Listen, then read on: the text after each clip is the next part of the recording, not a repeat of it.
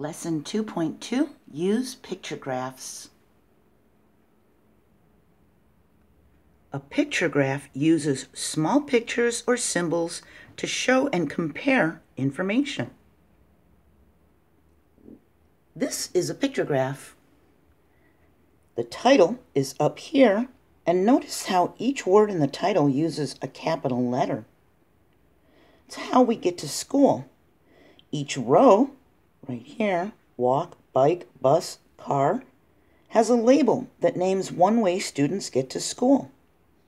At the bottom, we have a key, and it tells us that each smiley face is equal to 10 students. We can skip count by tens and see that 10, 20, 30 students walk, 10, 20 students bike, 10, 20, 30, 40, 50, 60 students ride the bus, and 10, 20, 30, 40 students get to school by car. To survey means to ask questions to gather information. We can say when we're filling out a picture graph that we're surveying to gather information, or we're giving a survey to collect information. To find the number of students who get to school in a car, we count each smile face as 10 students because the key tells us that each one is equal to 10. We skip count by tens 10, 20, 30, 40. We know 40 students get to school in a car. How many fewer students ride a bike than in a car? How many fewer is a clue to subtract?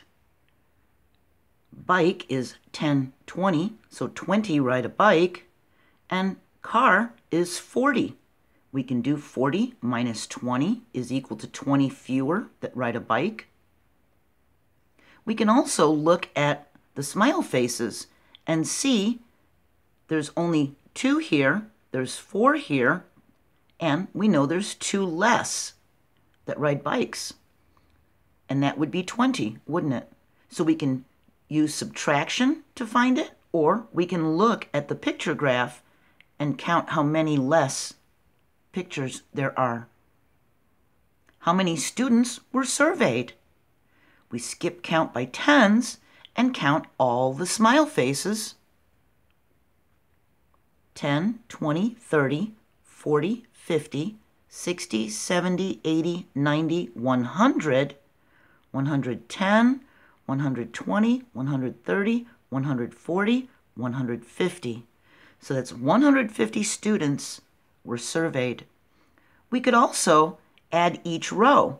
We can add 30 plus 20 plus 60 plus 40. The 60 plus 40 makes 100 that's equal to 100, then we can add the 30 plus 20, which is equal to 150 students. We can use half of a picture or symbol to stand for half the amount of a whole picture or symbol. This picture graph is about pumpkins we grew. We can see the people that grew them are Lisa, Tim, and Chris. We can see how many they grew. The key tells us that each pumpkin is equal to 2. But look, Tim has a full pumpkin and a half pumpkin.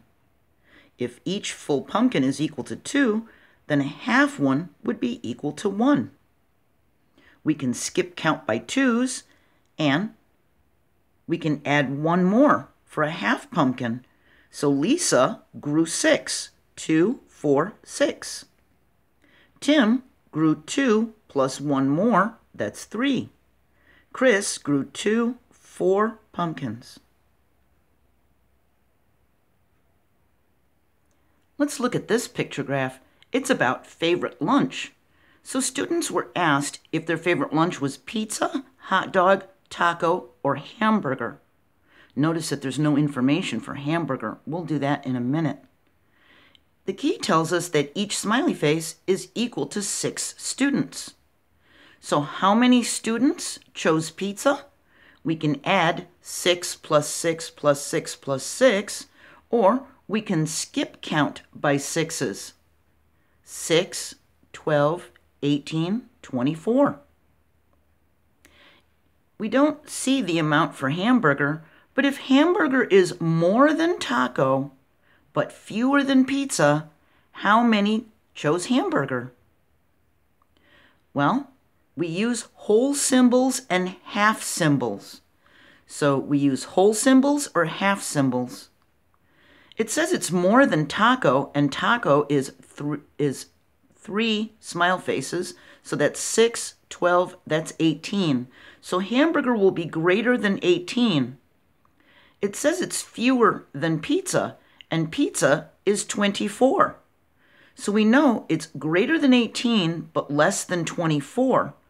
But we have to use whole symbols and half symbols.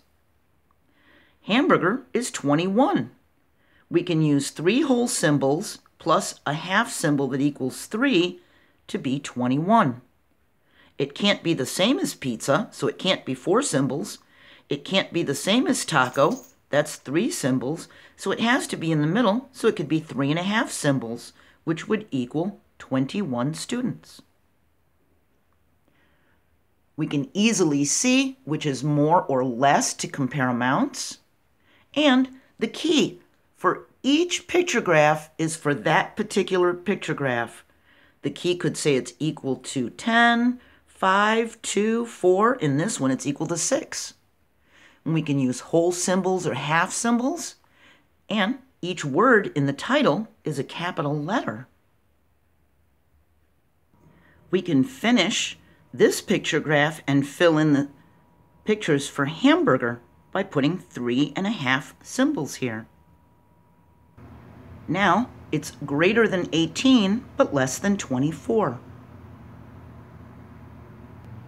In our next lesson, 2.3, we're going to make picture graphs. I hope you're having a really good day, and I'll see you next time. Bye.